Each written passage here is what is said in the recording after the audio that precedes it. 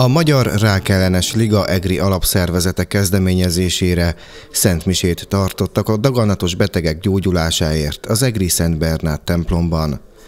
Kós Ede templomigazgató szentbeszédében hangsúlyozta, nem csak a testnek, a léleknek, a szívnek is vannak betegségei, a legnagyobb ilyen a szeretetlenség.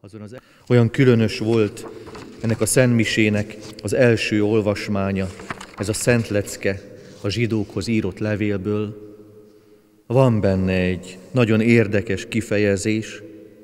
Azt mondja a Szentíró benne, hogy senki se legyen mérgező gyökérré, amely felnövekedve kárt okoz és megfertőz másokat.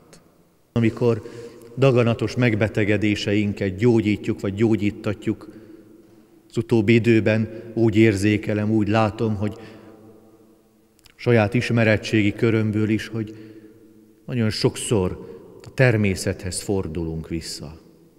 Keressük a fűnek, a fának az abban rejlő gyógyító erőt.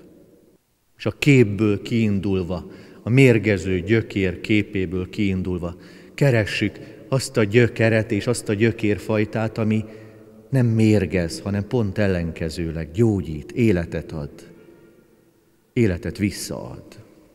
Isten arra int bennünket, hogy utasítsuk el aminket és másokat is megbetegítő mérget, helyette váljunk a szelítség, békesség és a szeretet hordozóivá, hogy másokat is gyógyíthassunk ezáltal.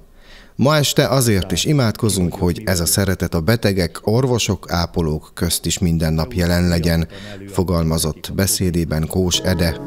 A Szent Mise végén Balázs áldásban részesültek a megjelentek.